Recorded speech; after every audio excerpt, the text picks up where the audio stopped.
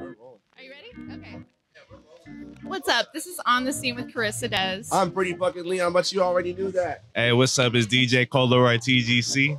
I'm That's in the right. building. That's right. And where are we at right now, Des? What's going on? Tell us what's Uh, we're at. Late Lyrics, put on by Shrista, That's uh, right. here at Kelly's Olympian in Portland, Oregon. Yeah. That's yeah. right. So, and you are, are you the DJ for the whole event? Yeah, I'm the Okay. DJ. Uh, we've been doing it for a few years, so I've been doing it uh, since the beginning. So, Okay. That word. Nice. So that, did were you uh, like a founder, or were you did you get brought on uh, Uh, as like a as a you know as like a DJ? But you know, what what was Yeah. what was the beginning process like? What was the Uh. I wouldn't say I was the founder. Uh, Shrista definitely was the founder, and she had an original DJ, Yeah. uh, but he was kind of inconsistent. So then she brought me on, and then we kind of had built something together and like talked it through and like kind of Yeah. wanted to go over a different model on how we wanted to do it. So Right. Okay. Very cool.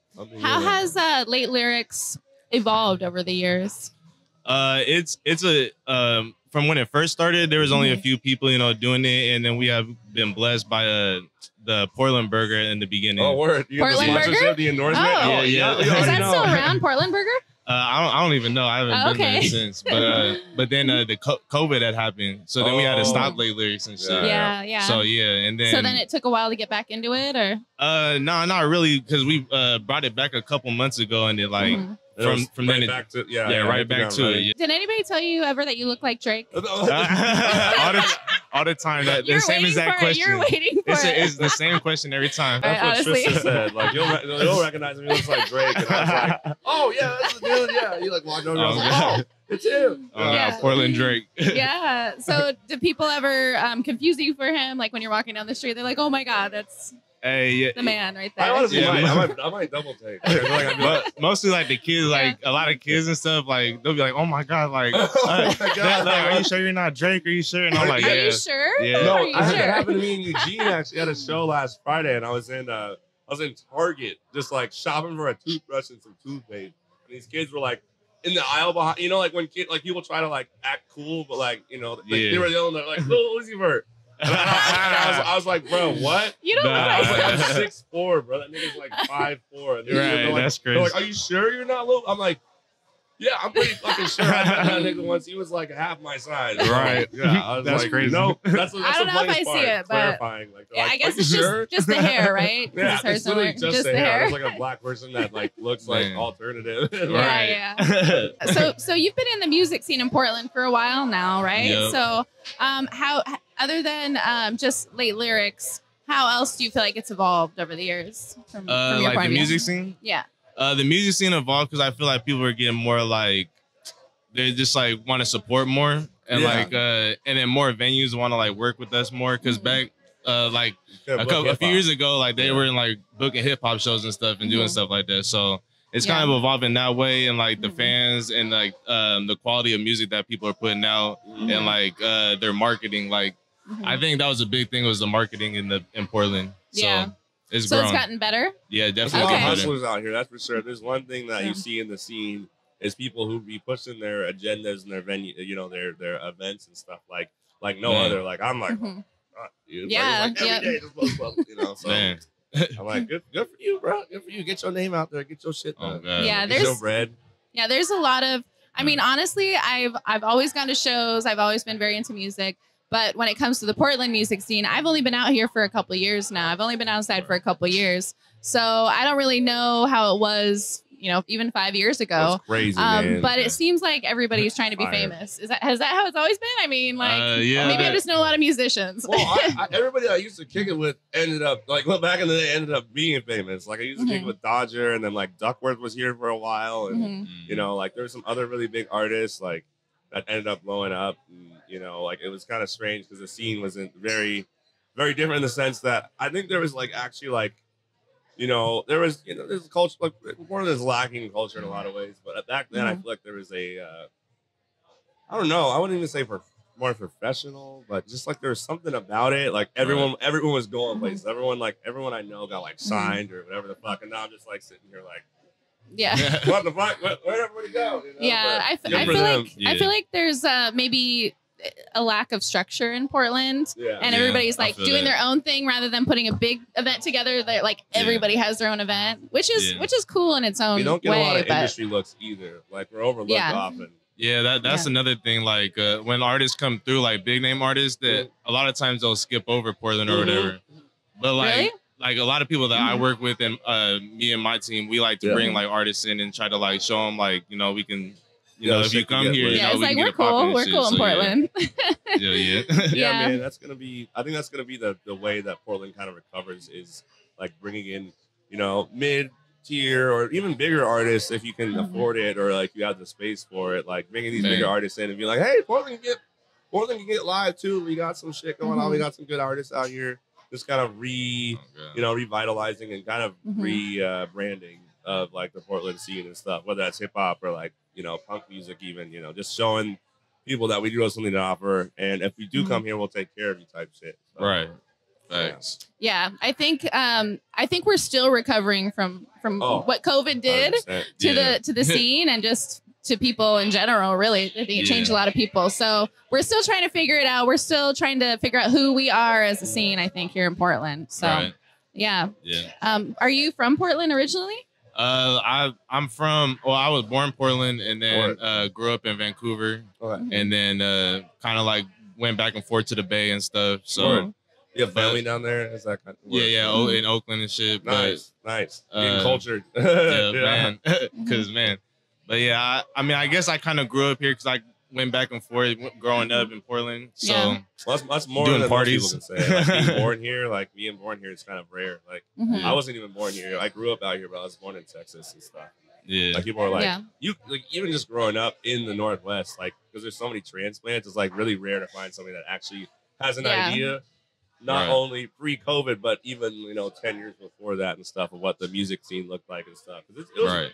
Very interesting. There's been a lot of different dynamic shifts uh, in the past like 10, 15 years. Like Yeah, you know, definitely. so Yeah. Well, I'm even considered a senior Portlander now because I've been here for eight years. Yeah. But so the fact that you've been here Senior for Portlander. eight. wow. Your free meal. After seven, it's like you're a Portlander. Yeah, I don't even have like you're. Portlander. I don't even have a plaque yet, but What the fuck That's am I? crazy. Like, am I dead like two times over? Like, fucking been here 25 senior citizen 26 Portlander.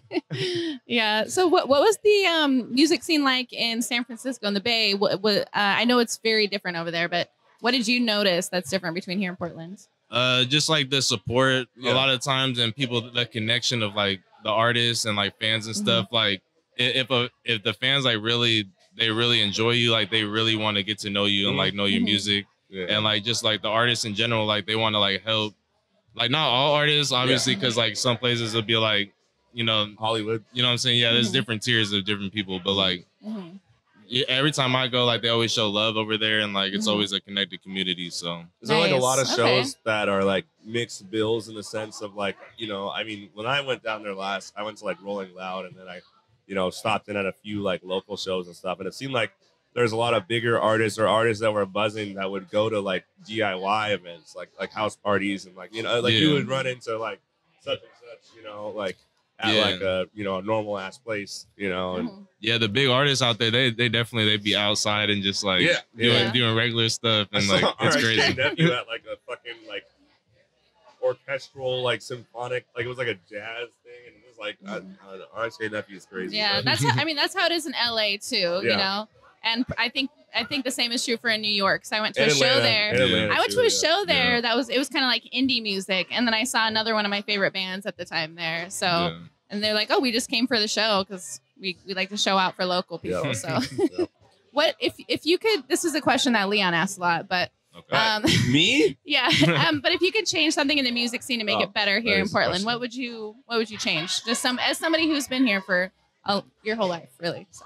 I, I wouldn't necessarily change, but I would add more, um, more like media and Yeah. more, um, Coverage. and- yeah, more media coverage and more. I mean, yeah, I guess that just So media more of coverage. us. Where would Yeah. you like like where More would it you like is, yeah. you know Yeah. let's say two, three, four, five years, like where where would you hope for it to like kind of land? Like would you you know, what's the Two- image for that? you Two to three, five years. I think. I think Portland will have like a lot of heavy hitters and a lot Yeah. of like a lot Mhm. of stuff going on because there's al- there's already a, a lot of going in motion right now that that's behind the scenes that people Mhm. probably don't know, but Yep. Yeah. there's That's a why lot we're going on the scene. Yep. Yeah. Yeah, that's what we're here for. God. Make sure people get all the Um, love they need. Yeah. So I was going to ask another question, but before that, is there something that you could tell us that's going on behind the scenes? That's going on behind the scenes. Um, tell us your uh, industry secrets. I mean, I don't got no industry secrets, but I just know that like a lot of people like um we're starting to figure out the booking and stuff and Yeah. um like getting more features and uh, the marketing and stuff like I was Mhm. talking about. So like just everyone's like building a uh, like IQ for like the music scene and stuff. So Yeah, yeah. I think you know, although COVID really sucked and ruined the scene, it kind of um, made the playing field more even because Yeah. everybody kind of didn't know what to do. So it's almost Yeah. like we're starting, everybody's starting fresh again, even the people who have been here for a while. So, and I, I see the people out there like hustling hard, and they you could tell that they know that um you know in a couple years it's gonna they're gonna get somewhere if they continue to do what they're doing. Yep. So yeah, definitely. Just keep going at it, man. And, you know, a lot of people I think too, like I've been here many times, people worried about bread and stuff. And like every single huge major artist, not every single one, a lot of Right. them would be like, yo, get the money, go out. You know, but a lot of them will be like, yo, the money will come. You, you you're doing the right thing. The money will Mhm. chase you. The money will follow. Just you keep doing what you're doing, and then you know. It, and yeah. I've seen it happen way more. Like when I was when I've been the brokest I've ever been, I've been the most money hungry, which is very interesting. A very interesting, Mhm. like, yeah. you know, Yeah. dynamic. But and it's just looking at it like a business you know what Yep. i'm saying if, if you look at it like a business and also like you know putting your talents forth with it then it will all like work Yep. together and yeah. you know what i'm saying yeah, Yeah. it'll work out Yeah, Oh, I think a lot of people want to, um, you know, just make one song and get popular on like TikTok Yeah, or something yeah, like that. yeah. You're very lucky if that happens, but a lot of people don't realize that it's a business and you have to be consistent. And sometimes it takes years to build any type of business. Yeah. It usually takes like five years before you're like solid and Yeah. and Kato, everything, uh, so- freaking, uh, sorry, I didn't mean to interrupt, but one of my favorite quotes by uh, Cato is uh, "Overnight success takes ten years." You know, because it's like man you know you're working, you're grinding, for, you're grinding for ten years straight, and then you get a Mhm. hit overnight.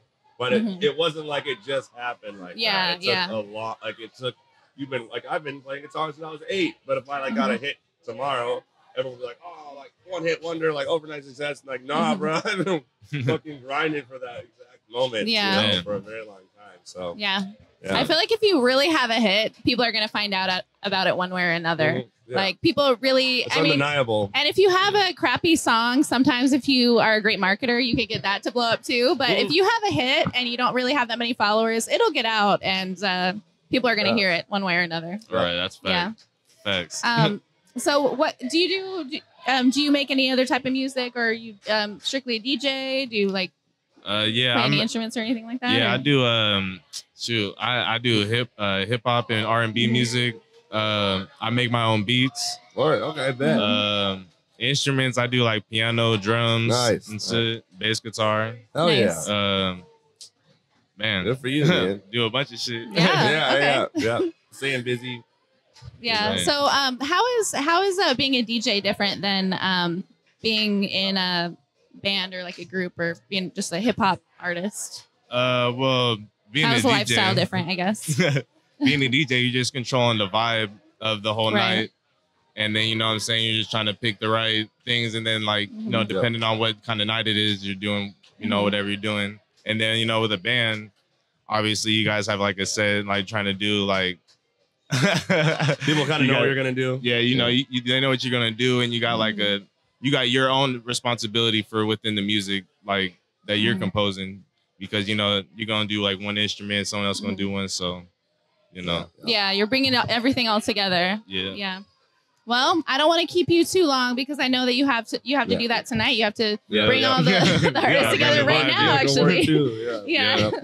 Very Uh, important is- person here. Yep, Yeah, this yep. Without you, we the artists wouldn't know what to do. I'm sure. All right.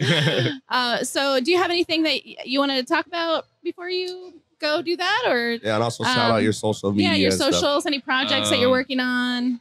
Uh, yeah, well, uh, I just dropped a project with uh, my guy 94 Prince. Uh, Oh, word. It's Okay. on all platforms. Uh, you can look it up under 94 Prince or ColdLe'Roy TGC. Mhm. Um, you know what I'm saying? Uh, I got that going on. I got some shows coming up, so look out for that. And Yeah. Yeah. uh, Yep. I don't got much. That's it. I got, you know what I'm saying? We're going to turn up BP. Yep. Uh, Yep.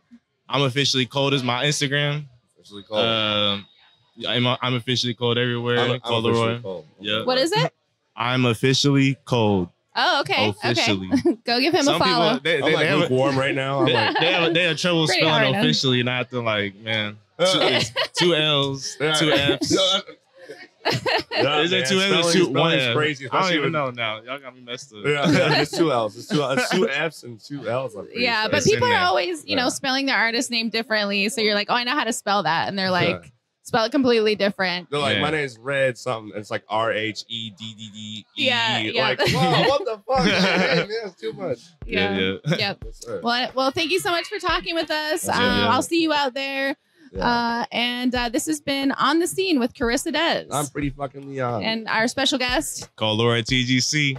And Right. uh, we're in Portland, Oregon at Late Lyrics at uh, Kelly's Olympian.